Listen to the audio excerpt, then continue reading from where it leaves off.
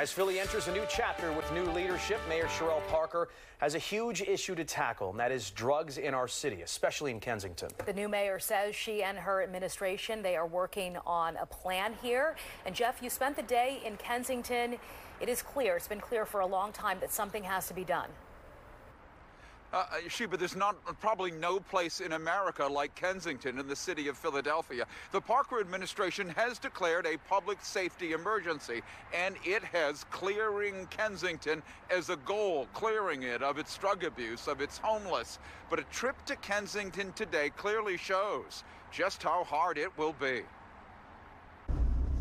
The streets of Kensington four days into the new year remain a place of open drug abuse where tents shield against the cold and the addicted writhe in agony. Nicole Mancini says she sells her body to live. I use PCP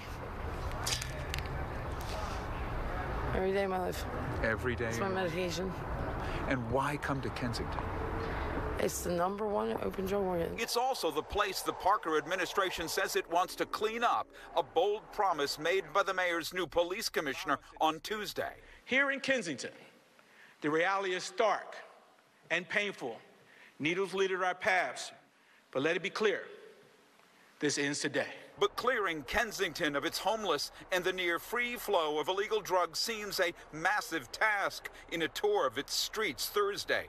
Roz Pichardo, the leader of a Kensington anti-drug group, says services and housing are key. I've traveled the world. I've never seen anything like Kensington, and I hope that this administration can hold up to their promises and, and include us at the table. While the sidewalks are clogged with the struggling McPherson Park, known for its crowds of drug users, is nearly clear as a team of police tossed debris into a trash truck today. Homeless for seven years here, this woman clings to hope. Of course it can be fixed. How? Anything can be fixed. How?